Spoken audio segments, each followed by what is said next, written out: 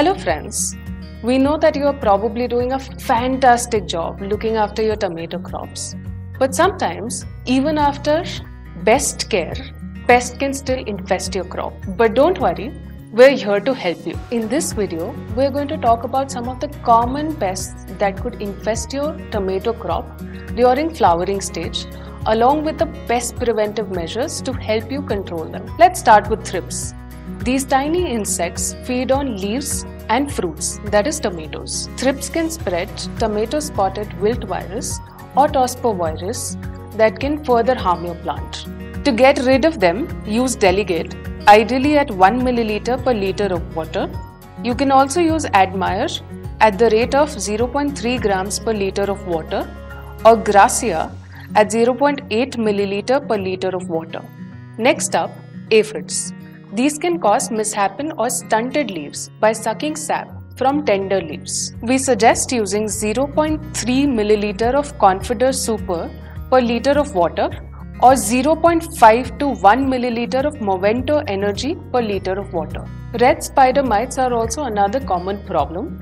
They suck sap from the leaves, causing a reddish brown or bronze tone patches on the lower surface of the leaves. In case of severe infestation, you can find silken webbings of larvae on leaves, fruits, and flowers. Furthermore, the infested leaves and flowers could wither and dry, causing loss of fruits. For effective control of red spider mites, we recommend a foliar spray of Floramite at a dosage of 0.5 to 1 milliliter per liter of water.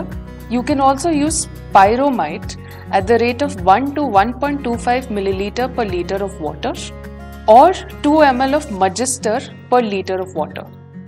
Whiteflies can also wreak havoc to your tomato crops causing distorted and malformed leaves. Downward curling and drying up of leaves is yet another symptom. Typically, the infested plant appears stunted and bushy with shorter internodes. To control whiteflies, we recommend using Pegasus at a dosage of 0.5 to 0.75 grams per liter of water as foliar spray. You can also use 1.5 to 2 grams of Lancer Gold per liter of water or Confidor at the rate of 1 milliliter per liter of water. Next up are mealybugs. This can be found on twigs and leaves of tomato plants. They appear as white cottony clusters and excrete a waxy substance that looks like sticky honeydew.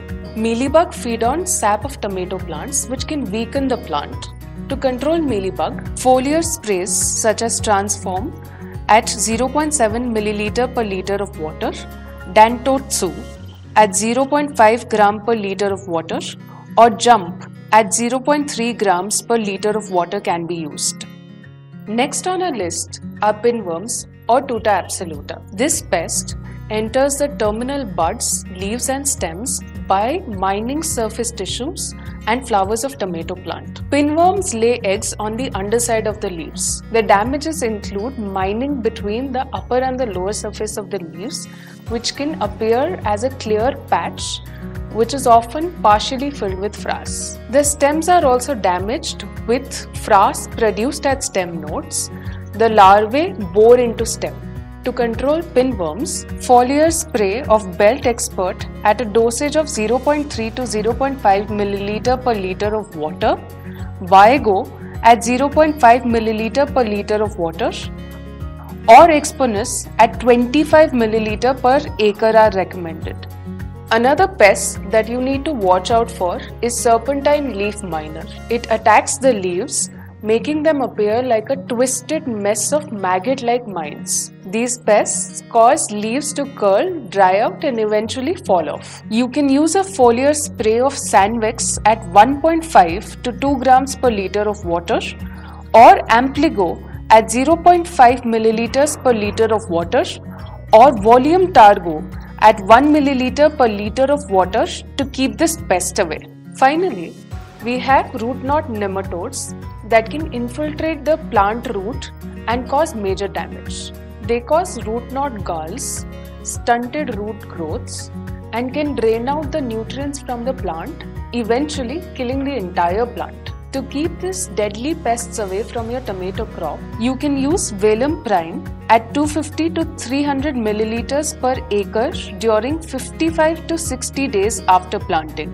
Alternatively, you can enrich your farmyard manure with biopesticides by mixing 2 to 3 kilograms each of Trichoderma, Pseudomonas, and Paecilomyces in 1 ton of FYM and leave it in shade for 15 days at 25 to 30% moisture for multiplication of beneficial microbes. You can use this mixture before transplanting the tomato seedlings.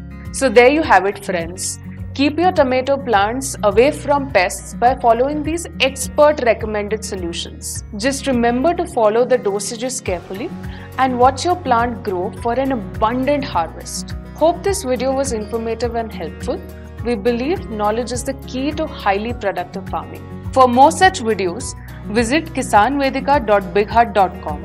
If you have any queries, reach out to us on our toll-free number 1800 3000 2434.